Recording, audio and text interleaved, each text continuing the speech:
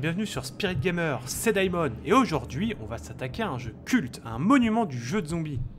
Sorti en 1996, Resident Evil, premier du nom, a vite atteint le statut d'œuvre culte. Ce dernier choque autant par son gameplay que par son système de caméra. Certes, un poil vieillot aujourd'hui, mais qui était pour l'époque une véritable innovation pour le survival horror qu'il représentait. 6 430 000 copies vendues plus tard sort Resident Evil 2.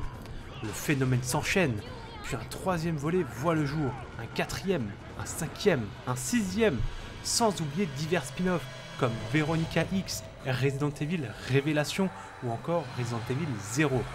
Bref, véritable phénomène mondial, Resident Evil se voit vite adapté au cinéma en 2002 et pas moins de 6 films sont déjà sortis avec un septième qui arrive.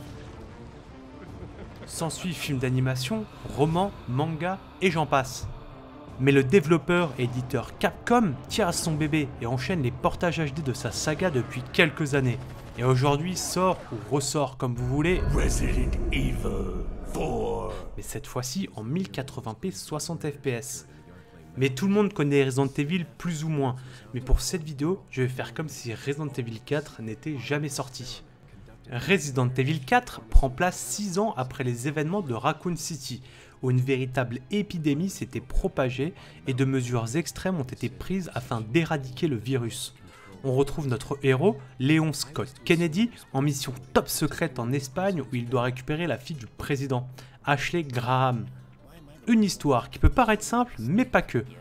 À travers secte, lien avec Umbrella et le passé, Léon va devoir tenter de survivre, retrouver Ashley et s'enfuir avec elle. Le jeu commence directement à notre arrivée.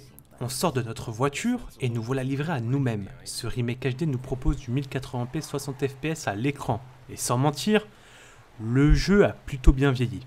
Nous sommes loin des graphismes d'aujourd'hui, mais le titre est loin d'être moche. S'ensuit notre première rencontre avec un, entre guillemets, zombie. Alors, Resident Evil 4 ne met pas forcément en scène des zombies, mais plus des autochtones infectés par un virus, ils sont totalement soumis à l'un des méchants du titre. Resident Evil 4 nous présente un gameplay digne de la saga, à la fois lourd et peut-être, peut-on dire, réaliste. Ah, je sais que c'est compliqué à expliquer, mais le jeu nous permet de viser, de tirer, mais on ne peut pas se déplacer en même temps, ce qui renforce ce sentiment de totale impuissance face à nos ennemis.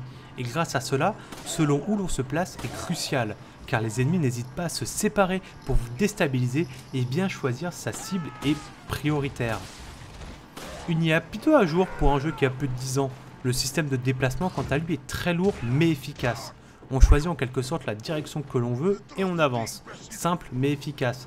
Et ce système lui aussi arrive à renforcer cette sensation d'impuissance face à certaines situations tendues. Concernant la durée de vie, il se finit en une quinzaine, une vingtaine d'heures de jeu. Et rajouter quelques heures pour les autres modes de jeu style mercenaire, un système de vagues où les ennemis arrivent, ou encore le jeu, mais du point de vue de Ada Wong, une autre protagoniste du jeu qu'on rencontre dans l'aventure. Un petit plus pour un jeu de 10 ans qu'on nous permet de revivre intégralement. A savoir que Capcom mise beaucoup sur les remasters de sa licence. On peut déjà voir sur Xbox One et PS4 Resident Evil premier du nom, Resident Evil 0 en remasterisé, mais également des portages HD de Resident Evil 5 et 6, sans oublier le 4 évidemment. Grâce à cela, les nouveaux joueurs peuvent découvrir ou redécouvrir la saga.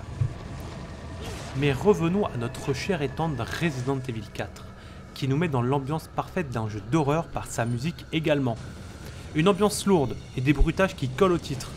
Pour finir, Resident Evil 4 se relève quasiment indispensable pour tout fan d'univers horrifique et de zombies.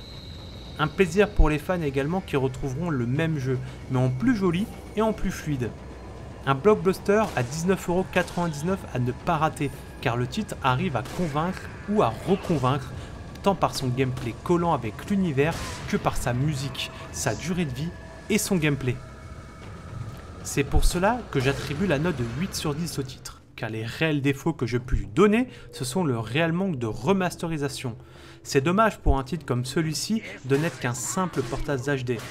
Et peut-être aussi que le gameplay qui au final peut rebuter certains néophytes de la saga. Resident Evil 4 est peut-être définitivement un titre intemporel tellement je ne me lasse pas de le refaire à travers les années. J'espère que cette vidéo vous aura plu. N'hésitez pas à laisser un petit pouce bleu, à t'abonner à la chaîne et à nous suivre sur Facebook et Twitter. Et à faire un petit tour sur le site spiritgamer.fr évidemment. C'était Daimon pour Spirit Gamer, à bientôt les amis